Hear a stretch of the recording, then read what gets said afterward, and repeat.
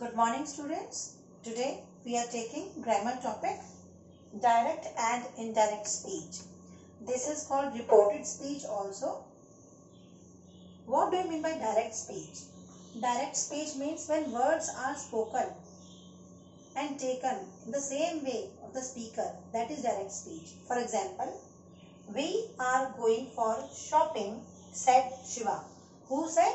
Shiva said. So these words are taken as it is, as the speaker spoke.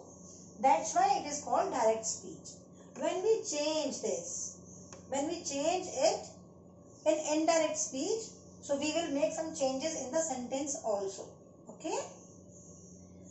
We tell someone what Shiva said, that is indirect speech.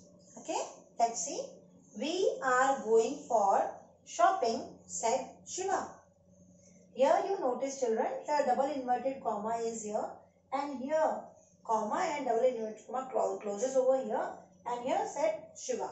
It can be in the beginning also Shiva said or it can be at the end also. It can be at any place. When we change it into indirect speech, we will we will make some changes. Shiva said that they. We will change into they. They are will change into were as we know that present tense changes into past tense. So it is present continuous are going. So it will change into past continuous. Shiva said that that would be connected between reported verb and reported speech. Shiva said that they were going for shopping. Okay. So this is Shiva is reported verb and we are going for shopping as reported speech. Okay students, a few changes take place when we change from direct to indirect. Okay, direct, indirect. If in direct speech, will will come, so it will change into would.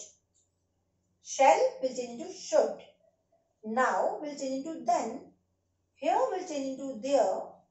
Ago will change into before, this will change into that, thus changes into so, today, that day, if it is tonight and that night, tomorrow, the next day, yesterday, the previous day, yesterday means the previous day. That already gone. Can change into. Change into thereto so these are changes that we make when we write direct to indirect with some other rules that we will discuss in the second slide. Okay children?